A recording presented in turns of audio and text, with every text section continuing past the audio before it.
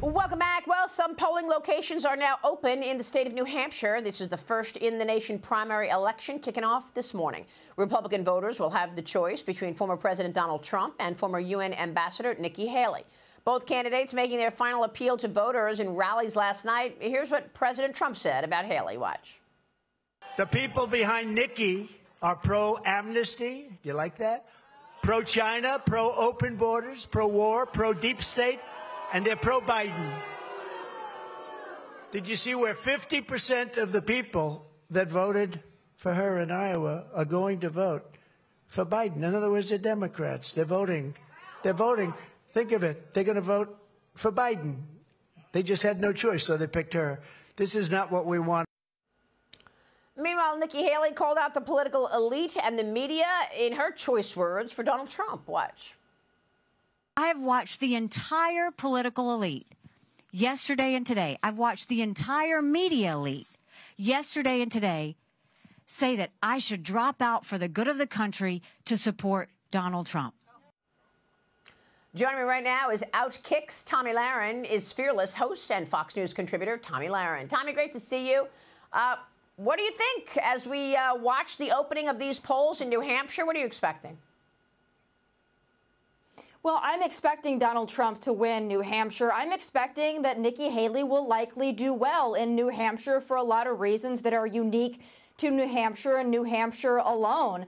I think that the spanking she received in Iowa should have been a clear signal to her. It was a clear signal to, signal to Governor Ron DeSantis. And I think that she should uh, actually get out of the race before it comes to South Carolina, her home state, because we wouldn't want to see her get spanked and embarrassed in her home state. That would be bad for her future political career, whatever she wants to do after this. So I think that it's time that we rally around Donald Trump as other candidates have done. It's time to unify the party because we're going to have a lot of work to do to defeat Joe Biden or whoever the Democrat nominee ends up being. So we better get to work now. The sooner the better. Let's start making sure we're raising the money for Donald Trump and we're ready for that battle in November because it's not going to be an easy one and we have to have all of our eggs in one basket and ready to go.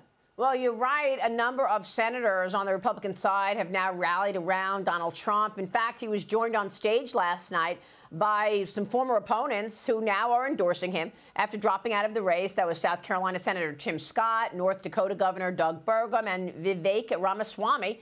Their appearance is meant to be seen as a quote show of force that the Republican Party is united, ready to take on Joe Biden, uh, Tomi. But there's still some holdouts waiting to see what happens with Nikki Haley here. Is there a chance that Nikki Haley can loosen Trump's grip on this nomination? Possibly doing well in New Hampshire, but like I said, Maria, that, that doesn't mean really anything in the scope of things. And I think that it's time for Nikki Haley and other Republicans supporting her and other big donors supporting her to understand that, listen, the America First movement, the MAGA movement, the Donald Trump movement, whatever you want to call it, that is still very much the place we're in in the Republican Party. We are not going to go back to the days of the Mitt Romneys, the John McCains, the Nikki Haley type candidates. The American people, and particularly the conservatives, the America First voters out there, they want what a Donald Trump presidency gave them. They know what it looks like like. They know that they were much better off four years ago, and they want that back. They don't trust the neocon types. They don't trust the Nikki Haley types. So while she might raise a lot of money, at the end of the day, people want Donald Trump. So it'd be good for her, for the sake of the party, the sake of the country, to quit maybe while she's ahead. She can go yeah. out with grace like Ron DeSantis did and look forward to whatever board she wants to sit on next. But this is Donald Trump's party right now, and that's uh, time to face that reality for Nikki Haley. Will he be facing off against Joe Biden? Over a year ago, I said there's no shot that Joe Biden is going to be the nominee on the Democrat side because I was looking at the mental capacity issues. We know he's not going to be on the New Hampshire primary ballot after the Democrat National Committee changed the primary calendar this year. Some voters say that they're going to write Biden in. Others are saying they're not happy with the DNC at all over blowing off uh, New Hampshire. Watch this. In New Hampshire, we take we take our civil responsibility very seriously, and the primary is a huge event for us. So we were disappointed this year not to have the Democratic prim- primary, and that's why we're doing this, because it's not meaningless like the DNC says. It's it really is meaningful. Uh, the Washington Examiner's Restoring America editor, Kaylee McGhee, uh, writes this In New Hampshire, thousands of Democrat voters have switched their registration to become undeclared or independent voters in recent weeks because they don't want to vote for Biden. Even if they did, they would only be able to do so writing in Biden's name because the president has not even bothered to fight for the ballot access in the state. So, Tomi, two questions for you. Number one, your your thoughts on the impact of Biden not being on the ballot here, and number two, will Biden be the one Trump faces off if it is in fact Trump in November?